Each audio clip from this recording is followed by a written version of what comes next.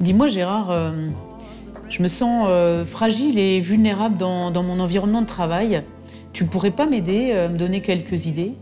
Alors Christine, déjà, c'est un bon point, c'est une bonne prise de conscience. Prise de conscience que dans l'entreprise, évidemment, bah, on est exposé à ce qu'on appelle des risques. Et donc, tu te sens fragile et vulnérable, c'est-à-dire qu'on pourrait se blesser peut-être en travaillant. Alors, comment te répondre? Bah, Tout simplement, nous, on fait de la formation. La formation, elle va essayer de répondre à une sensibilisation. Sensibiliser sur bah, c'est quoi un risque? Je n'arrive pas à maîtriser euh, euh, mon contexte de travail. Bah, tout simplement, qu'est-ce qui pourrait m'arriver?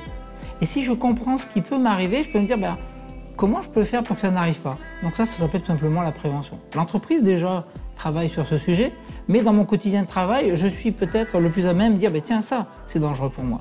Donc ça s'appelle de la prévention. Et puis après, quand la prévention ne suffit pas, bah, on va se protéger. On va essayer d'avoir des, des équipements de protection individuels. Mais ça ne va pas s'arrêter là, puisqu'en fin de compte, quand tu as fini le travail et que tu sors de l'entreprise, eh bien quand tu rentres chez toi, bah, il y a aussi des risques.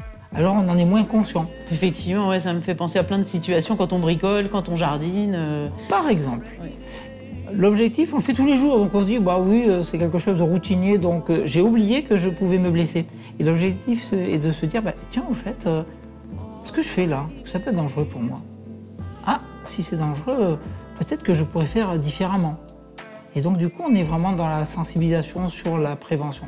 Mais on va pas s'arrêter là. Tu as des enfants, Christine? Oui, oui, oui. Ouais, J'ai deux garçons. bah pourquoi pas aussi initier la prévention chez eux? Alors tu le fais tous les jours, hein, attention, saute pas, cours pas, euh, on est bien d'accord. Mais ça va peut-être au-delà de ça. C'est peut-être se dire mais comment aussi je pourrais les sensibiliser, prévention et protection? Comment je pourrais les amener là?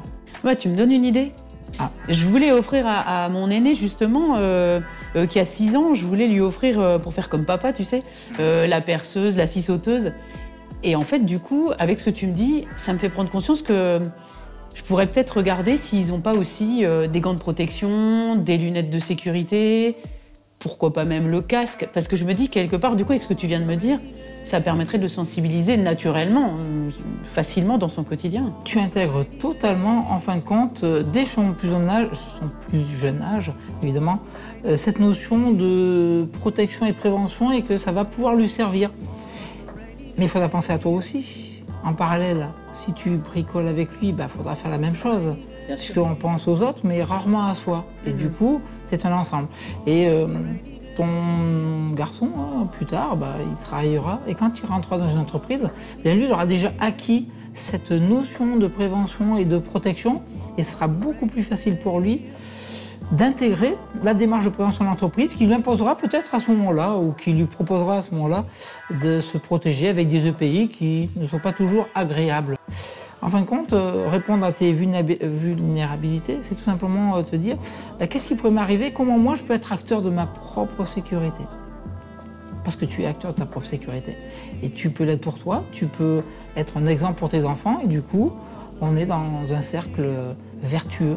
Et ça va répondre à l'entreprise, à toi.